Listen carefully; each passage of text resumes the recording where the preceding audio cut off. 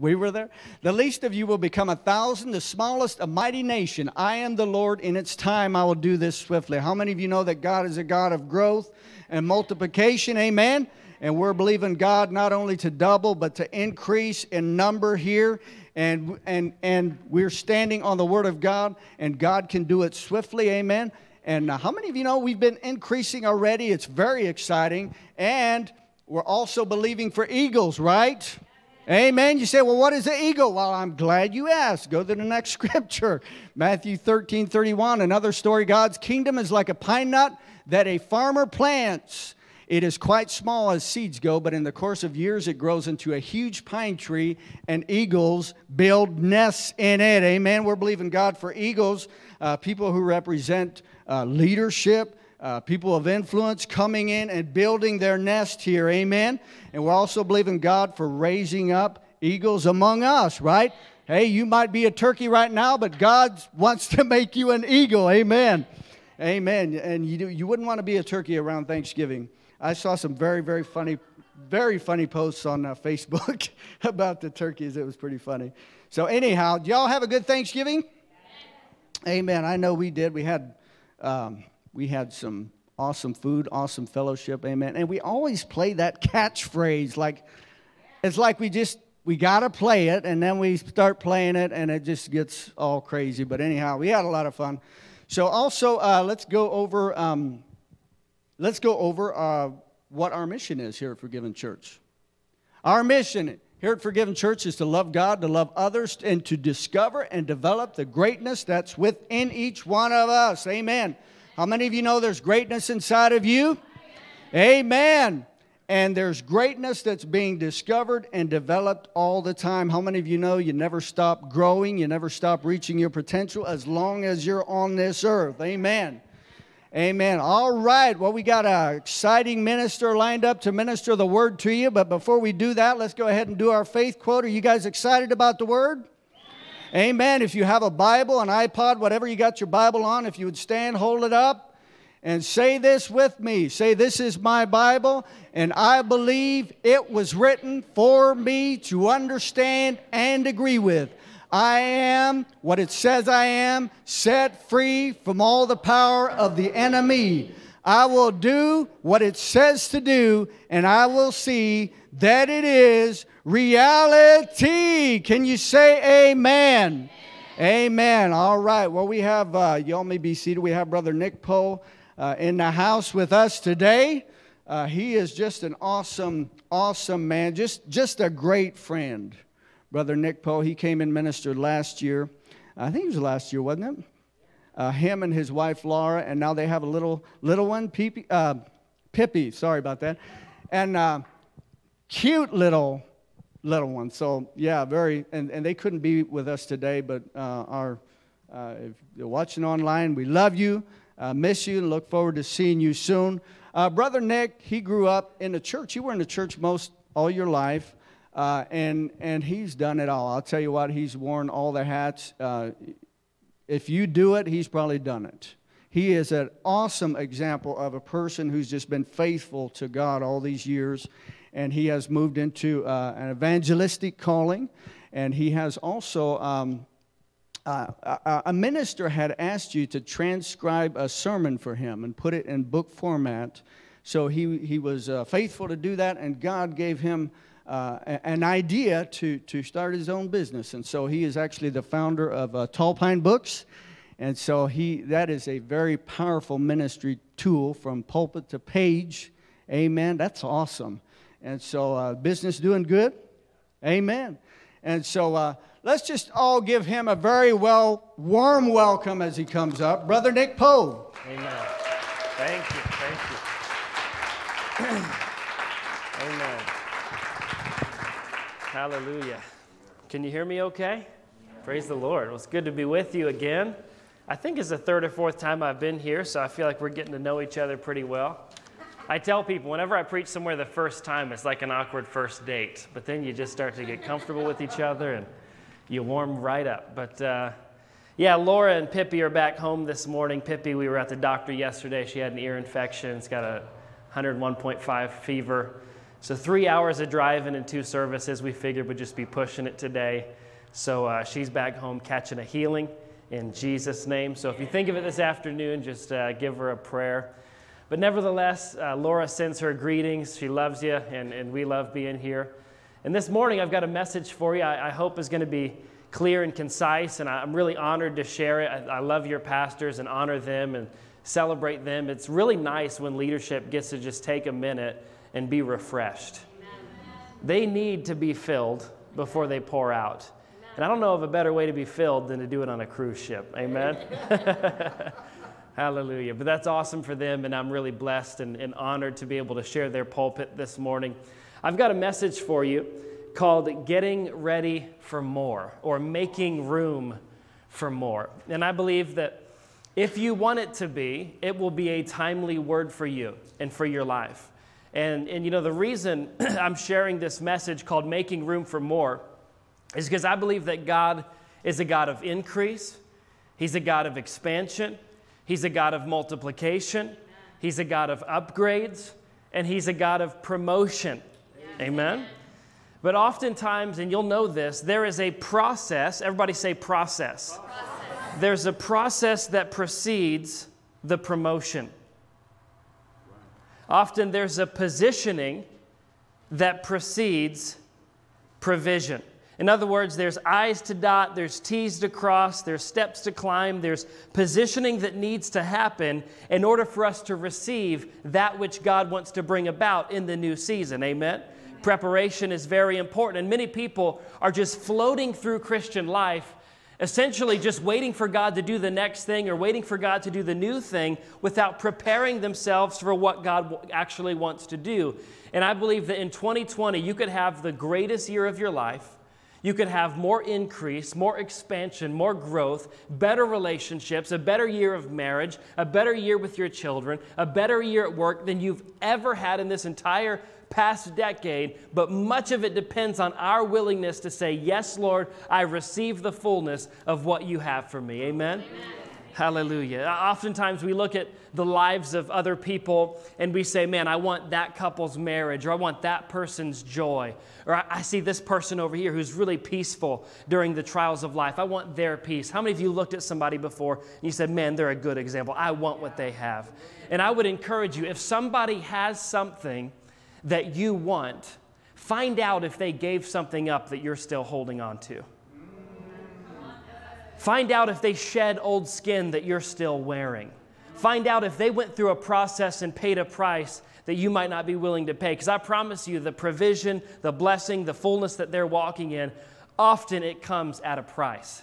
In fact, I remember hearing a story of, of, of, a church service where there was this old preacher on the platform who was experienced, he was wise, he was seasoned, he had spent time with God, he had walked with God, and he was up on the platform sitting next to a young preacher who was inexperienced. A new convert, probably had no business having the microphone in his hand, frankly, but he's, he's, he's green on every level. And they're both sitting there on the platform, and both of them are going to share in this service. And the young preacher stands up and grabs the microphone, opens his Bible to Psalm 23, and with a loud voice, he begins to declare, The Lord is my shepherd. I shall not want. He leads me beside still waters. And he goes through the entire psalm and, and shouts it and decrees it, uses all the right inflection, and gives it his all, but nobody's really responding nobody's really receptive. Maybe a couple hallelujahs, but that's about it. And all he was doing was just replicating what he had seen other preachers do. He wasn't speaking from a place of revelation, he was speaking from a place of replication. And so there was really no receptivity in the crowd. So he sits back down, and the old preacher who was seasoned, who had walked with God, kind of limps his way to the pulpit, opens his Bible to Psalm 23, and with a calm, still, easygoing voice, he just begins to read, The Lord is my shepherd. I shall not want. He makes me lie down in green pastures. He leads me beside still waters. And he goes through this psalm in a calm manner, and like popcorn all around the room, people begin to start weeping. They begin to get touched, and God Himself shows up. And by the time he finishes this psalm, there's not a dry eye in the room. And he goes back down and sits next to the young preacher, and that young preacher looks at him with his jaw on the floor, and says, How did you do that? And the old preacher looked at him and said, Son, you know the psalm, but I know the shepherd. The old man had a, had a, a manifestation that the young one didn't because he paid a price that the young one hadn't. And oftentimes, I believe we will shortcut and short circuit God's process and God's blessing because we fail to pay the price and to position ourselves properly to receive the fullness of what God has for us. And I believe, I'm going to give you three points this morning, real quick. I believe in 2020, God will position you and prepare you to receive the fullness of this next season. So if you would, go to Matthew chapter 9. Matthew chapter 9, Jesus speaks to these very principles, the, the, the next season and the new move of God. My point number one is this God prepares you in the now season to receive promotion in the next season. And here's what Jesus has to say about that Matthew chapter 9 and verse 16 he says, No one puts a piece of unshrunk cloth on an old garment, for the patch pulls away from the garment and the tear is made worse. Nor do they put new wine into old wineskins, or else the wineskin breaks, wine is spilled, and wineskins are ruined. But they put new wine into the new wineskins, and both are preserved. Back in that day and age, they didn't go to Target and get a plastic water bottle or a metal tumbler to contain their water, they used animal skins. And when you put wine into a leather animal skin, it would stretch out. And the fermentation would cause it to expand, which was fine for just that one bottle of, of wine. But once they used it and drank it all or poured it all out, that empty wineskin got stretched to the point that it became brittle. And so, if you tried to pour in a bunch of new wine into that wineskin, it would break and burst, and both the wine and the wineskin would be ruined. And what Jesus is saying here is, I want to upgrade your container. I want to position you so that you can handle exactly what I want to do for you, in you, to you, and through you in this next season. Amen? A lot of people want God to bless them, but if He blessed them, it would break them. So God will build you before He blesses you. He'll give you the resources you need to handle the blessing for when it comes. I believe the earth that we live in is not a waiting room for heaven, it's a landing strip for heaven. But a lot of people haven't built a runway. They say, God, show up in my life, but there's no room for God to land in their life. Sunday morning for one hour isn't enough time for God to land in your life the way He really wants to. Amen? There's got to be a revelation that happens where we take the corporate public place of worship and let it bring us into the private place of intimacy in the secret place with Jesus. Amen? And I believe the Lord often is not tipping the bottle, pouring into our lives because there's an old wineskin. See, many people have a desire. Everybody say desire. desire. They have desire that outweighs their capacity. How many of you seen a person before who's a broken mess who says, Man, I just want to be married so bad? Yeah. That's a desire that's outweighing their capacity. Because you think to yourself, well, if God gives you a spouse, God have mercy on that spouse. Yeah. Amen? Right. Or someone says, man, I just, I just, I need, I need a new home, but they don't have the finances to manage that home. They'd end up losing the home to begin with. They have a desire. They say, Lord, I want more, but they don't have the capacity to handle it. They're asking God for a gallon, they only have room for an ounce. Whereas God wants to, like He said through the prayer of Jabez, wants us to expand our borders, expand our capacity, so that as we're faithful with the little, He'll make us ruler over much and cause us to step into the fullness of what He has for us. Amen? I remember my dad in high school sat me down. It was, it was kind of a, a practical story of what I'm talking about here. I had this old beat up car that uh, had red uh, cloth interior, automatic seat belts that didn't work, and smoke would blow out of the heater when I turned it on. It was just a, a rough car. It was a piece of work. I'll call, I'll call it that. It was a piece of work. And I remember treating it like a piece of work. I just treated this thing really bad. I, I, I, trashed it, I didn't care for it, and it was just a mess, trash in the floorboards. And my dad saw it one day. And he sat me down like a loving father and he said, Hey, uh, saw your car, and it's a disaster. It's a mess. And I'm like, It's a good observation, Pops. And he said, uh, he said, You know, that's bad stewardship. Why would God give you an upgraded vehicle or a newer vehicle or a nicer vehicle if you treat your current one that way? So I repented, and the fruit of my repentance was I cleaned out my car. But that lesson stuck with me ever since. And I will say this if you're a parent with children, I think God kind of winks at that messy car. I think He gives you a little extra grace. and all the parents said, Amen. Amen.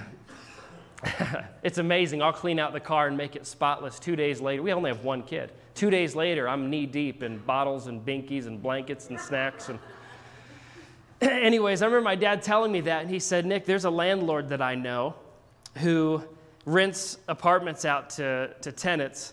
And when he wants to rent an apartment out to a tenant, he doesn't do a credit check, he doesn't do referrals, he doesn't do background check, he doesn't do any of that. You know what he does? He looks at their car. And if he sees their car is a mess, he knows how his apartment's going to look. If he sees their car is spotless, he knows his apartment will be cared for and will be spotless. That's how he makes his decisions. Now, that's just a simple, practical decision. I know you're going to race out of here and go clean your car right when you get home. but there's just this, on a bigger scale, there's this principle that if we neglect that which God has given us in our current season, we don't qualify ourselves to receive the upgrade or the promotion. Amen? For Jesus declared, those who are faithful over the little will be made ruler over much. You can't get to the much by bypassing the little. Amen? I just believe these things are so. Point number two, I have more to say on that topic. We'll get to point number two right now. Point number two for increasing and making room for more is this, and you'll know this to be true. Give it an amen if you agree with it. The only right timing is God's timing. A lot of people know what to do, but they don't know when to do it. They know what God has for them, they don't know when God wants to manifest it in their lives. Here's an example somebody says, um, You know, I've been renting and I believe God wants to give me a house. I, I, I, believe in prayer. I heard God wants me to have a house so I can build equity and make, make this place a home. And and, and, so then they go out looking for homes, which is exciting, and then they, they, they fall in love with the first thing they find. It's got the right amount of bedrooms, the right bathrooms, the right school district. But despite the fact that they feel uneasy in their stomach and not have any peace about the situation, they move forward any, anyways because they said, God, I know what you want from me, but I'm going to ignore the timing of what, when you want it from me. And they end up in a whole mess to begin with. How many of you seen people who have said, I know God wants me to be married, so then they just fall in love with the first person who shows them any affection whatsoever? And it's a recipe for disaster because God doesn't just have a what, He has a when. And you have to be able to spot when the season's shifting, when God is manifesting something. I remember reading in Genesis chapter 1 where God said He gave the sun to rule by day and the moon to rule by night. And I've read that, and this is a little bit intricate, so hang with me. But I read that and I thought to myself, Lord, why is it that you said the sun will rule the day? You could have said, I gave the sun to come out at day and the moon to come out at night, but He said, I gave the sun to rule the day. Yeah. I thought, why is that? I believe the Lord spoke to me and said it's because the sun determines when the day starts and when the day ends. Rulership, leadership, maturity, authority is about knowing when a season starts and when a season stops. Amen? Amen? It's about knowing when to go and when to hold back. And I believe that God wants to do amazing things, profound things in your business, in your marriage, in your relationships, in your finances, in your life as a whole. There's no area that's left untouched. But you've got to be keen with your ear turned toward heaven so you know not just what God wants to do, but when He wants to do it. Amen? I, I worked on staff like. Um, Merlin alluded, alluded to, I worked on staff at New Life for, for about five years. And, you know, I, I, I, knew before I ever started working at New Life at a local church that I would eventually do full time evangelistic ministry, kind of run our own thing. But I also knew that I needed this season of preparation on staff at New Life. And so there were times, three or four years in, where the, the you know, ministry pay isn't good. It's not, you don't, you don't get into ministry for the money. The, the job got to be a grind at times where you're working long hours and you're caring for people and you're always on. There's always hospital visits and funerals and weekend plans get crashed. And, and it, it got to be a grind at certain times. But I knew if I left that incubator, that season prematurely, and I didn't know the timing of God. And I tried to run my own ministry by myself before properly launching in the timing of God. I would run myself right into the ground really quick. And I remember praying, and I prayed, I said, Lord, I feel stuck. And He said, You're not stuck, you're planted. And the difference is, if you're stuck, it means you're somewhere you shouldn't be. If you're planted, you're planted there by a force that's greater than you, in ground that's bigger than you, so you can find and get nutrients that cause you to flourish in the place that God has called you. Amen? So I said, All right, I'm planted. And I just stayed faithful over that season. And then God launched us out just at the right time with our pastor's blessing, with God's blessing. We had heard from him in prayer, and it just made sense. Amen? Amen. When the timing is right, I'm telling you, it changes everything. Because the right thing at the wrong time is still the wrong thing. Don't miss that. Don't miss that in Jesus' name. Amen. I remember uh, there was a young man in my hometown who uh, wanted to be married really bad, and he, he, he, he loved Jesus, but he found this girl that he wanted to marry. And on paper, things looked good, but he just knew in his spirit something wasn't right. Something was uneasy, and he's trying to, he was praying and sort of trying to convince God to change his mind. Have you ever done that?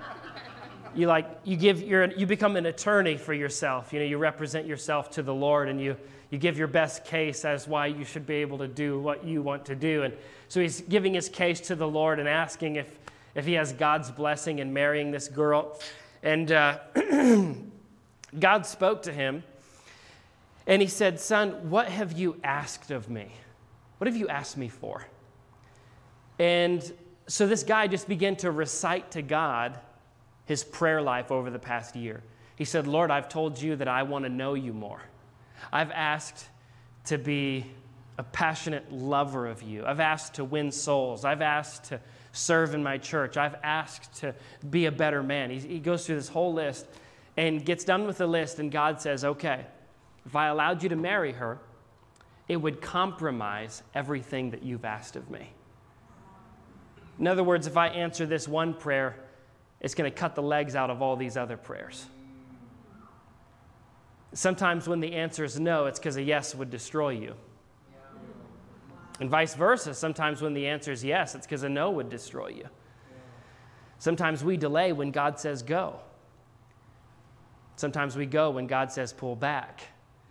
But if we'll walk in step with the Son of God, Jesus Christ Himself, we won't miss the timing because God is always on time and He'll see to it that you are too.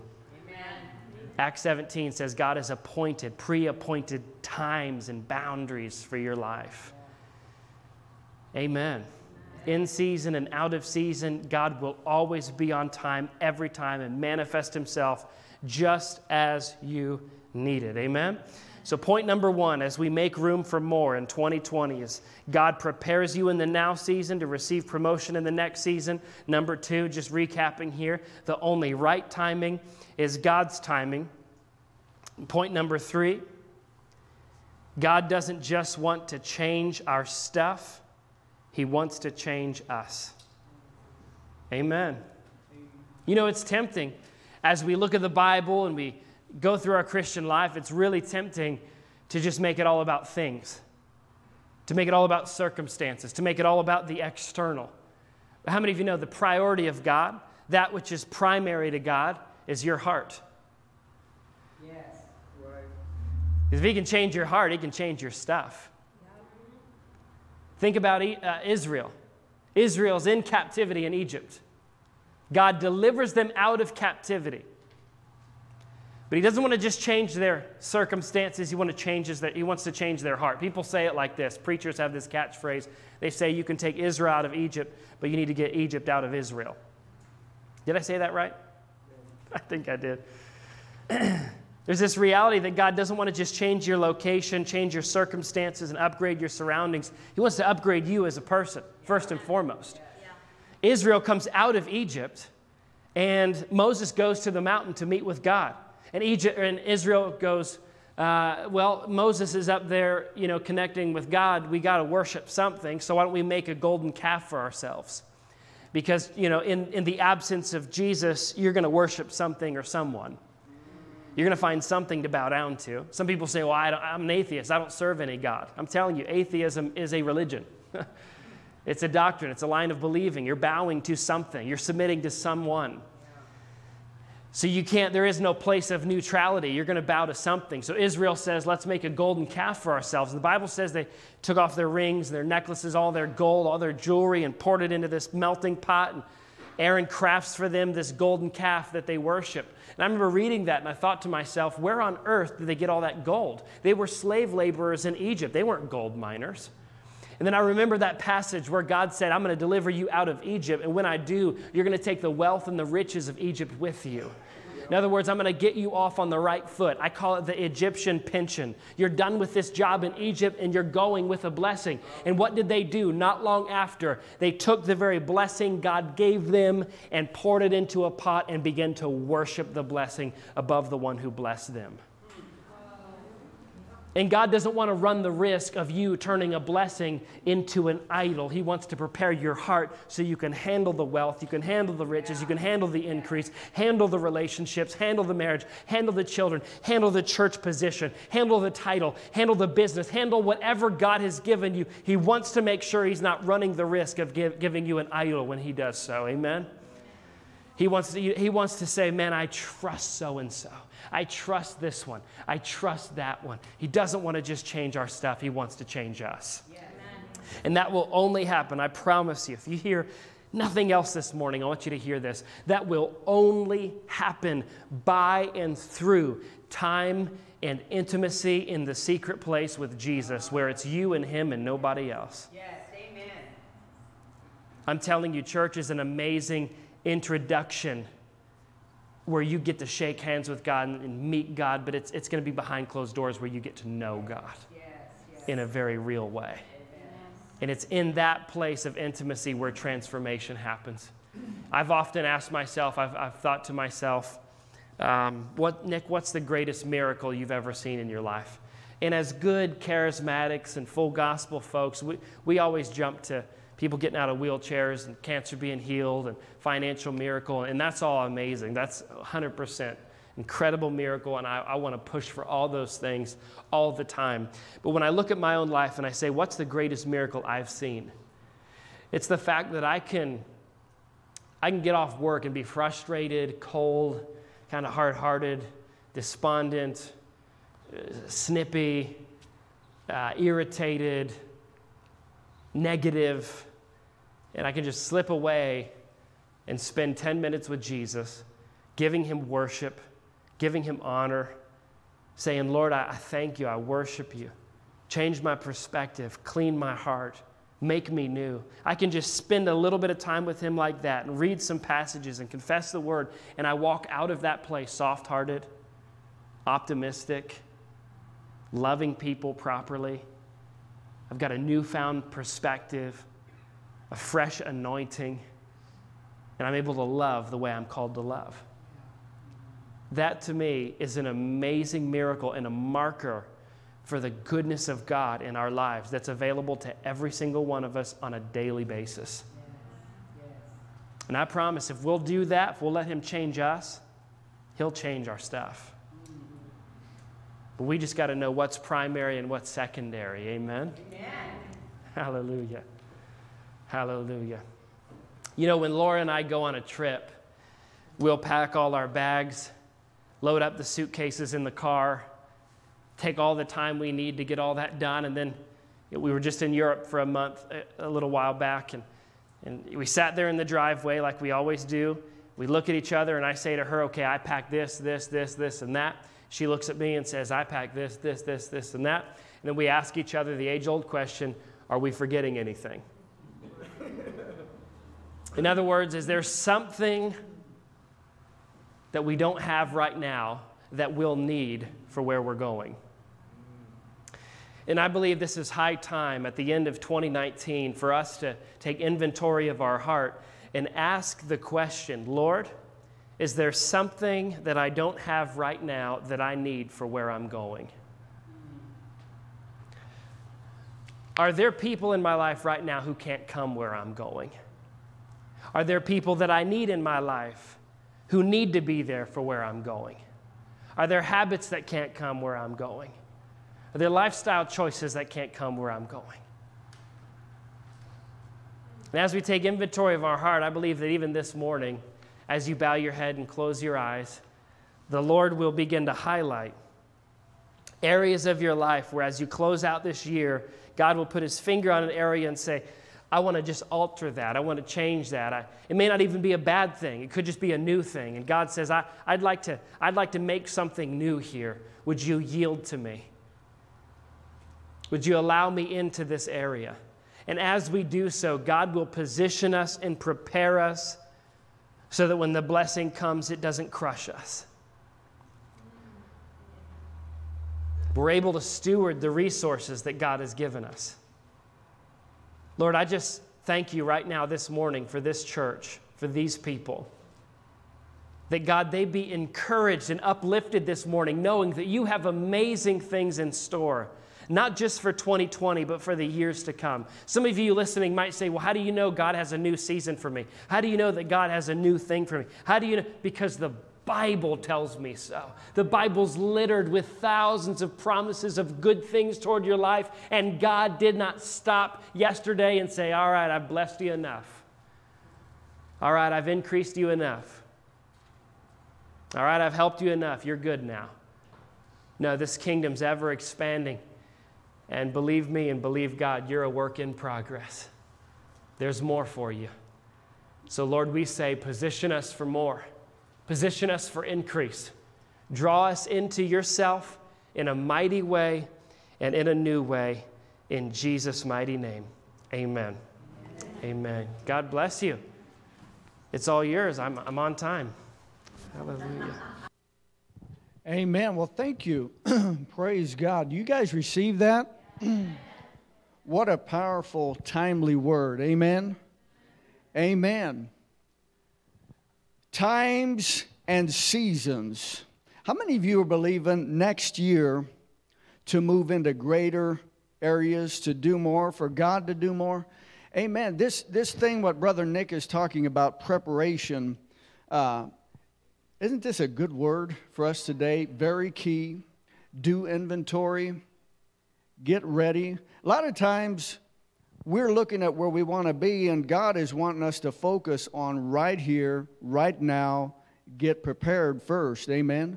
And so um, I would encourage you, I hope you got plenty of notes. If you didn't, uh, go on online, watch it again, and take notes because I believe that's definitely uh, an awesome word for us today. Amen. Amen. All right. Well, uh, Brother Nick had to leave because he's going up north uh, to minister right away uh, as well. So, uh, uh, but uh, amen. Did an awesome job. He's not here to tell, but amen. So, when you watch it later on live stream, Nick, awesome job. Amen. All right. Well, is anybody ready to give? If you are ready to give, you should be. Amen. and you'd like to have an offering envelope, go ahead and raise your hands. we're going to take up uh, offering for our regular tithes and offerings. Amen. And I have a scripture that I wanted to share with you in uh, Genesis chapter 8 or 28, verse 20. It says, Then Jacob made a vow. This is one of my favorite scriptures when it comes to tithing. Uh, Jacob made a vow saying, If God will be with me and keep me in this way that I am going, and give me bread to eat and clothing to put on, so that I come back to my father's house in peace. Then the Lord shall be my God, and this stone which I have set as a pillar shall be God's house, and of all that you give me, I will surely give a tenth to you. He said, Of all that you give me, I will surely give a tenth to you. Amen. And that's something that Wendy and I have done uh, ever since we've been married. Everything that has come into uh, the house, we have vowed to give God uh, a tenth of it. Amen. And uh, so that's that's a very powerful thing, and it's very exciting where God has brought us. Amen. Uh, since we've started doing that. Amen. Amen. So. If you got everybody get an offering envelope that wanted one. If you're watching online, you can go to forgivenonline.org, click on our giving tab, and you can give online. Amen. If you didn't bring your checkbook and you have a smartphone, you can give right in your seat. Amen. uh, uh, Giving Online. Amen. Forgivenonline.org. And uh, don't forget the power of the penny. This one is actually pretty full, and I've got some pennies that I'm going to be uh, putting in there, but I'm taking mine up north because the one up north is about that full, right around halfway full. And so, how many of you know we're wanting to fill both of them and uh, turn that in, sow it into missions? Amen. Amen. All right, we're going to go ahead and watch a video. When you have your offering envelope ready, go ahead and hold it up. The ushers will be by to pick it up. Go ahead, Sue, start the video. Hi, it's us, the Sanders, Hi. Jim and Joanna. I'm Joanna. now I know you opened the door and you went, "Uh oh, it's those nosy Uh-oh. neighbors." Nosy neighbors. But we're not We're nosy. not. Well, kind of we are. Maybe. Here's the deal. A lot of times throughout the years, we've knocked on your door and said, "Hey, what can we do for you?" Yeah. You know, because that's the type of people we are. But this time we're going to kind of turn the tables Flip flop. and ask you what you can do for us. Yeah. Hey, Oh, hey, hey, hey, hey, hey, hold the phones, hold the phones. You see, we'll just cut to the quick, okay? We have no money. We're broke. We got nothing. Yeah, zippo zilkus. Nada. Bupkis. You see, what we've done is we've taken the happy train to Credit Town, Woo woo. And we've been having so much fun. We are up Woo. to dead in our eyeballs. Over our heads. So we need your help. Yeah. Okay, okay, okay, okay. I know what you're thinking. Hey, aren't you believers? And we are. we are. We love the Lord. So much. But we've been loving the world. Woo. You guys have some great stuff out there. really And our house is proof. We got so many gizmos and gadgets. It's awesome. And we ain't about to give them up. Nope. Okay, so here's what we've decided to do. Yeah. We have proposed a bailout package for you to help us out with. What do you say? Yeah. huh? Oh, oh, oh, hey, hey, Senator, hold on there, okay? You see, we need your help because we are scared. Yeah, we're so stressed out. We got creditors nipping at our heels like a duck on a June bug. She's got a way with words, and it's so true. Yeah, yeah. It's so oh, true. We're so scared. It, we're like a, a long tailed cat in a room full of rocking chairs. All right, Juno, that's enough. okay. See, here's the deal. The Bible says in the book of Malachi. That's Malachi. whatever. It says, God says, says, hey, hey, hey, test me with your money. Bring all your tithe into the Bring storehouse. and I'll just be honest with you, I failed every test. And my storehouse is about to have a pool. Woo! We are so excited. Yeah. And we ain't get rid of that. Nope. So what do you say? Can you help us? Yeah. We've, we've earmarked this rescue Yeah. plan. Oh, hey, hey, hey, hey, hey. It's good stuff. It's win-win. Come on. Okay, at least at least just give us some flour. Can we have some flour? Oh, hey, our son's birthday is this weekend. You could just take that flour and make us a whole cake. What do you say, huh? Yeah. Well, that's a fine howdy do. I know. Well, I guess it's back to the house to do a revision on the rescue plan. well, we gotta hurry. I got a manicure in 30 minutes. oh yeah, oh yeah. Mmm, don't you love neighbors like that? Amen. All right, everybody get a chance to give that wanted to. Got one right here. Amen. All right, gentlemen, you can bring those on up and let's pray and release our faith. Amen. Hallelujah. I'm excited. I'm excited about this next year the things we're moving into. I'm very excited about it. So, uh, amen. All right, let's pray. Dear Father, we want to thank you for this awesome opportunity to sow into your work, into your kingdom, into good ground. We thank you, Father, that as we give, that our giving is multiplied back to us 30 fold, 60 fold, 100 fold. And we want to thank you, Father, as Brother Nick had ministered, that you help us prepare our hearts for increase. We do not want money to ruin us. We want to be in a capacity to receive more. And as we give today, we give believing for manifestation of those things. In Jesus' name, we give you all the praise and the glory for it. Amen. All right, gentlemen, you can go ahead and take those on back. Uh, got a couple more things that we need to do. Um, actually, had quite a few things we needed to do. And uh, so, uh, yeah, we're going to do communion. So, uh, Brother Don's trying to wear two hats.